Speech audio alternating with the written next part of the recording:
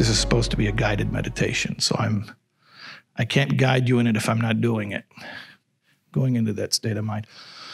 Yeah, six days a week, I'm a responsible adult, and that means that I have responsibilities to take care of. I have things to do. I have places to show up. I have meetings to make. I have people that I have to talk to. I have calls I have to return.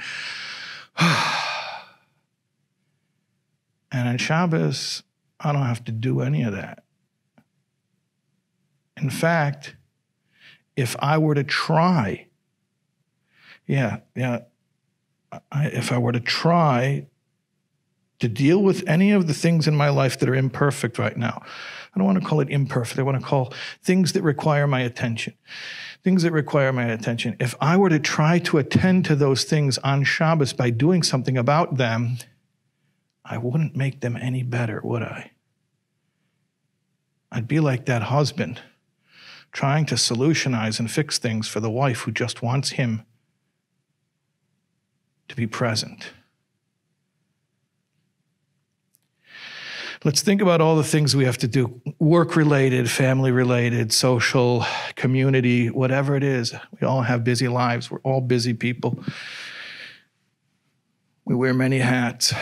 We are many things to many different people.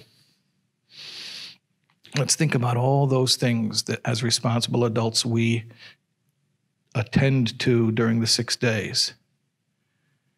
And now let's imagine allowing all of those things to be exactly as they are for now. After Shabbos, we will return rejuvenated. We'll go back to the six days. We'll go back to doing. But we'll go back to doing with a sense of purpose because we'll know who we are. Doing loses meaning when there is no reminder of how to be.